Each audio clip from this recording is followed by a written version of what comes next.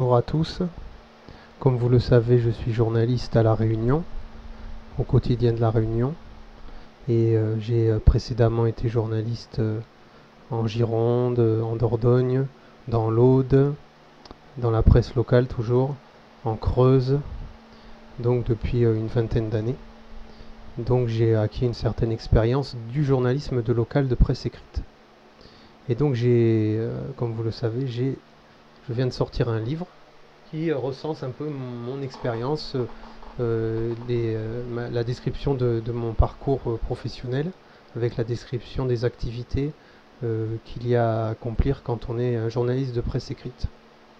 Voilà, donc là aujourd'hui je voulais vous parler par exemple du choix des angles, qui est une des nombreuses tâches à accomplir quand on est journaliste. Donc Patrick Béguier, un auteur, euh, qui a, un journaliste qui a écrit Localement Vôtre, un manuel du journalisme de presse écrite, relève cinq phases dans la rédaction d'un article.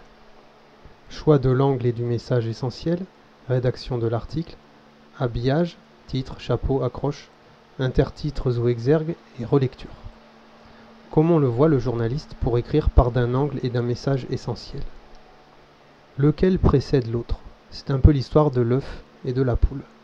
Le plus simple est de considérer qu'ils naissent au même instant, sur la même paille, à partir de l'analyse d'un fait, d'un événement. Même si en pure logique, l'angle, procédé de sélection des informations, vient en premier et le message essentiel, le sommet de la hiérarchie des infos, la hiérarchisation des infos, pardon, vient en second. Patrick Béguier ajoute que pour trouver le meilleur angle, le journaliste doit avoir un seul guide, le comportement du lecteur pour traiter un sujet, le choix de l'angle est fondamental. Choisir un angle, c'est choisir le sujet du sujet. Autrement dit, le point de vue pour regarder et parler du sujet. Le choix doit s'opérer en fonction de plusieurs critères.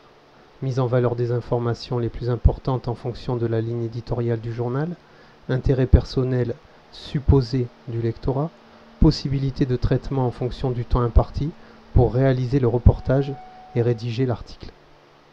Voilà, donc euh, petit texte qui, euh, fait euh, partie de, de, ce livre que je viens de publier. N'hésitez pas à me contacter si vous voulez l'obtenir ou l'acheter euh, sur Amazon. Merci et bonne journée. Au revoir.